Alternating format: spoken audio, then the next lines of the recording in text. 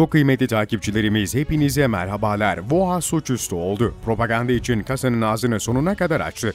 Değerli izleyenler, ABD Dışişleri Bakanlığı tarafından fonlanan ve içeriklerinin ABD Küresel Medya Ajansı tarafından düzenlediği Voice of America, Türkçe ve Kürtçe kanallarıyla propagandalarını sürdürüyor.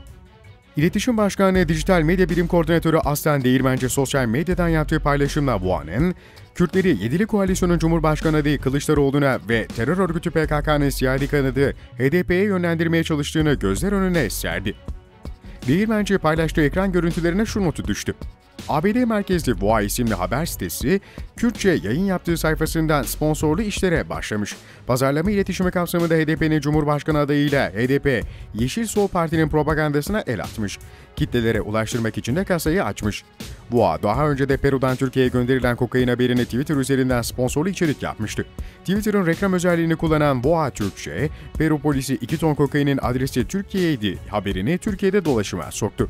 Haberimizin sonuna geldik. Sizlerden kanalımıza abone olmanızı, videolarımızı beğenmenizi ve nokta dahi olsa yorum bırakmanızı rica ediyoruz. Bir sonraki haberde buluşmak üzere, hoşçakalın.